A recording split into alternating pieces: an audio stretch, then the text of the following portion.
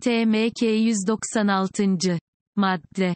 Türk Medeni Kanunumuzun 196. maddesi şu şekildedir.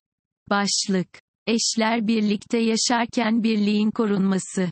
Madde 196 eşlerden birinin istemi üzerine hakim, ailenin geçimi için her birinin yapacağı parasal katkıyı belirler.